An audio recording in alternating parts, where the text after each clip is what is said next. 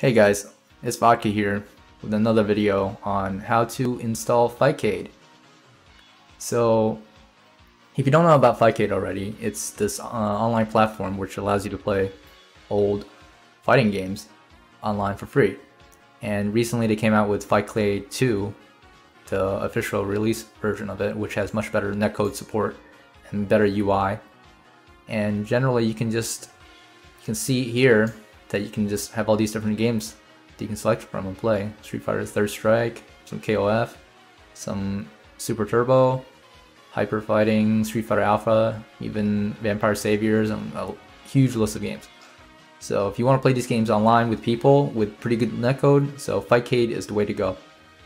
So first of all, what you want to do is go to the, their website, fightcade.com, and you can download the client and it's real simple.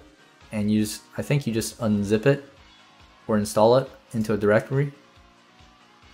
Once you have it installed you're gonna have a directory kind of like this. It's gonna look like this. And you just click on it and you're ready to go. But there's one more step that I'm gonna help you out with which is to how to set, set up your games. Because the emulator in Fightcade it just has the emulator so it doesn't actually have the ROMs. So what you want to do is I'm gonna leave a link below to this file JSON files, .zip. And when you look inside, there's this bunch of JSON files here. So what you want to do is download the files. And then what you want to do is go to your Fightcade directory, go to emulator, and in here unzip all your files. You see how I already have them unzipped, so all the JSON files are here. And that's pretty much all you have to do. And when you're done, you just click on Fightcade 2. You have to create a, an account too and that's really simple. So it's going to bring you up something like this. You hit add games and it's to give you a list of games and you can just join the rooms, join the lobbies. So if unless you're a Patreon member, you'll only be allowed to join three games at a time, three lobbies at a time. But three should be more than enough. But if you want to support these guys, and I really suggest that you do, they're doing great work, and you have the means, um, go to their Patreon and you know help support these guys that are making this happen. So what you want to do after you're in one of these lobbies, let's say I'm in Super Turbo, Turbo right here, you'll want to go to test game. And if everything's working, you'll see the download script download the ROMs into the directories it needs to go. And it should load up the game. When you're in here, here's some settings you might want to set. So first of all, stretch. You'll want to set it to correct aspect ratio. And I see a, some people having it all stretchy like this, stretched out. Yeah, that's not what you want. You don't want it to look all stretched out. It's, it looks terrible. So please, have it, have it just be correct aspect ratio. And you can run it at full screen. So toggle full screen mode and that'll make it full screen. It actually runs slightly even better at full screen. It's just a word of advice and you can enable VSync and disable auto frame skip if you want. I hear that makes it better. And also I suggest with run ahead to disable it. Um, I've heard people having issues when they try to set it to one or two, so I just I have it disabled and it seems okay. And that's pretty much it. Oh, and for the input, make sure you're mapping your input to your games.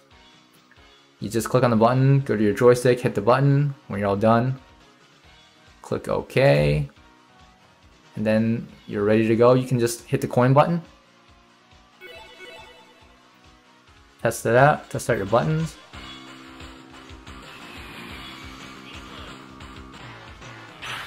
Let's see if this works. All my buttons should already be ready. just test out your buttons. Everything's good. And then close it. And that should save all your configurations. You don't have to do it once. But you have to do it once per game. So let's say Alpha 2, Alpha 3, you have to set it again for this. Go to inputs, map input, and then you're done. And that's pretty much it. Oh, and another final thing to note that it does call out if you use Wi-Fi, and I highly suggest that you do wire have a wired connection instead of Wi-Fi, because it's better for everybody not to have Wi-Fi like this guy here. But maybe, I understand some people can't help it. You know, their setup just does not allow them not to have Wi-Fi. But if you can, please have a wired connection. It just makes it so much better. You can also see their ping here. This guy actually probably right next to me. He's 5 milliseconds. So, so all the bars are pretty good. And even at like 150, it runs okay. Like this guy is probably playable. So just test it out for yourself. and have fun. You can see there's plenty of people online playing these games. And yeah, if you have any, if you have any questions, just uh, drop a comment below. And I'll see you in the next video. Thanks. Hi, thanks for watching my video. Like and subscribe if you enjoyed this video, or drop a comment below if you have any questions. You can follow me at Twitch at twitch.com slash. Come hang out and watch me demonstrate muscle power live.